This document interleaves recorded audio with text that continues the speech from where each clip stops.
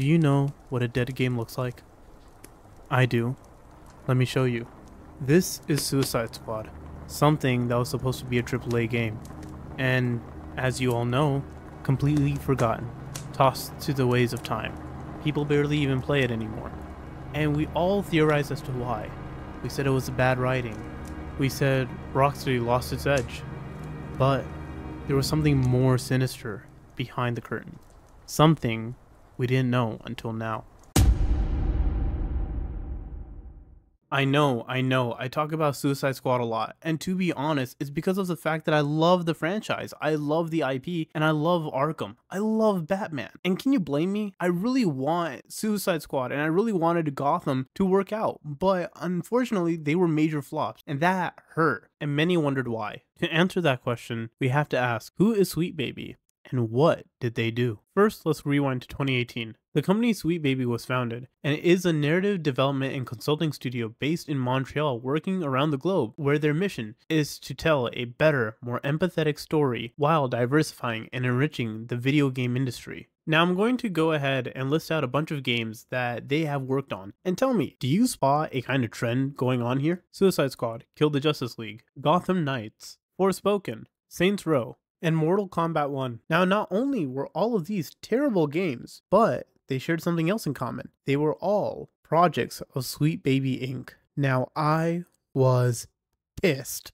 When I found out that they were responsible for all of these games, my jaw hit the floor and I was fuming with anger. And other gamers had that same reaction too. And one took it a step further by making a curator list of every single game Sweet Baby has ever touched. Now, that list is at 144,000 and climbing of all the people that really don't want to play a Sweet Baby game, especially if they had any involvement in it. Now, if you're asking yourself, why do gamers care so much about how their games are produced and why woke culture is such a bad thing for their game, I made a video going over this exact point. So go ahead and take a watch on that and then come back to this video. Now, if you thought this ended with a curator list, you are very mistaken here. Sweet Baby took personal offense to the curator list and its creation. So much so that they went to Twitter to incite their fans to harass the person that created the list in the first place. That is absurd for them to do. Now, Sweet Baby sympathizers went ahead and got onto the Steam page to leave their own comments on the entire curator's page. And this is where it gets downright despicable. Let's start off with something light that they posted. Video games are not meant for right wingers. I guess to them, your political leanings matter for playing playing a game? That's just insane. But it gets worse. They also claim that if you're against SBI, then you are racist. Since when was that a thing? But I love that they played this card, and we'll get to that in a second, because the next one is just downright insane. I can't read the next one because of YouTube TOS, but to incite violence, especially against kids, because you do not agree with them, is insane to me. I can't confirm if that was a Sweet Baby employee or not. This is the mentality of those people. However, let's talk about a Sweet Baby employee, one that goes by the name of Lego Butts on Twitter. Now, this all starts on February 29th, where Lego Butts gets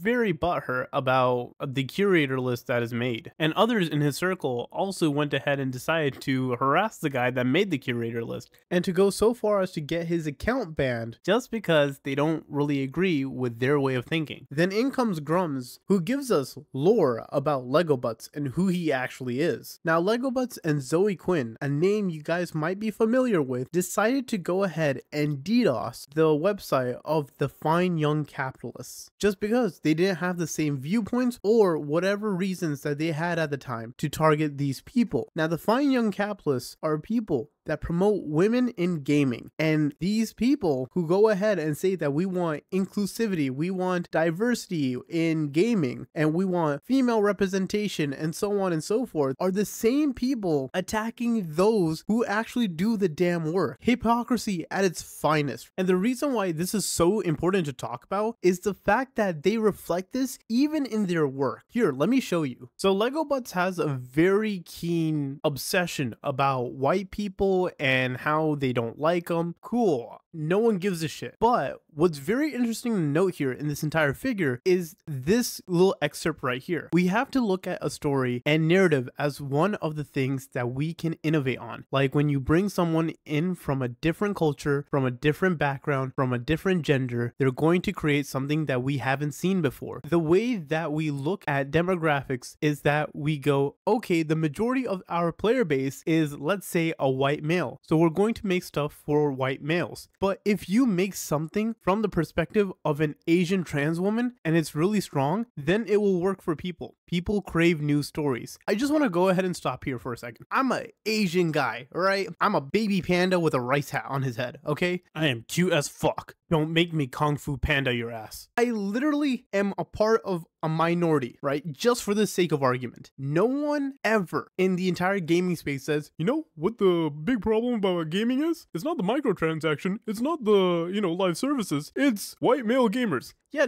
fuck off with that, honestly. It's more about the fact that a game like Final Fantasy VII Rebirth, a game that just came out, is focused on an audience. It is made in Japan. It is made by Japanese people, yet they have Barret, yet they have a dog named Red 13. That has more diversity than any of the stuff Sweet Baby has even put their grubby mitts on. And on top of that, again, they never took into consideration what the West thinks. It's always been about, hey, our player base is in Japan, you know, we're gonna make a really good story and we're gonna have people enjoy it with enjoyable characters. Also, side note, if anyone's ever looked at Pokemon, I've never looked at a Pokemon and just went ahead and said, you know what? Pikachu needs to be more black. What the fuck are they talking about? Also, you know how I said I'd get back to the whole racist comment kind of thing? Well, I'm just gonna leave this on the screen. You guys can read it for yourself. And Lego Butts, not a good look. Look, at the end of the day, all we want are just good games and we vote with our wallet. Something I'm going to point out very specifically here because Sweet Baby wants to act like they're the victim in all of this and they want to go ahead and say we're only targeting them now because we have very disingenuous criticisms for them. Well, no, because games like Saints Row and games like Forspoken have been out for a couple of years now. No one liked them when they launched, no one likes them at all. And of course, we voted with our wallets and they flopped. Same with Suicide Squad. We did not know you were involved with it, and it's a little disingenuous that you would hide the fact that you are involved with these games, but also at the same time, you know what you're doing is wrong here. We want good games. We already live in a world where all of the IPs we used to have, early 2000s, I'm talking about. The early IPs that we had are all gone. The IPs that remain are the ones that we have attached ourselves to and we want to see good games about. We want to see better games about them. And the fact that you have aided and embedded in destroying games and destroying developers and studios just to promote your selfish, entitled viewpoints that you think are superior and no one else's voice matters and you just want to bully everyone else, go fuck yourself. Honestly, we want to be left alone and we want to enjoy the shit we want. We don't want to see your bullshit plastered on our screens when we want to sit back and relax. Seriously. This is just too much at this point now. Now we have to ask ourselves, what's next? Now that we know that Sweet Baby exists, what they do, and how they've destroyed so many games under their provision that they have been contracted for, I don't think the industry is gonna want this kind of flack for their new games. And on top of that, a lot of companies and developers are not gonna be so keen to add on contractors that will make their games flop the moment they come out. Or if any company or studio tries to partner themselves with Sweet Baby, well, guess what? We're going to be able to see through that because their idiotic writing is kind of apparent, especially since we've been exposed to it for many years at this point now. And Sweet Baby knows exactly that, hence why they decided to run. So, in short, Sweet Baby. You can run. You can hide. You can rebrand all you want. But remember, we're looking for you. You can't run forever.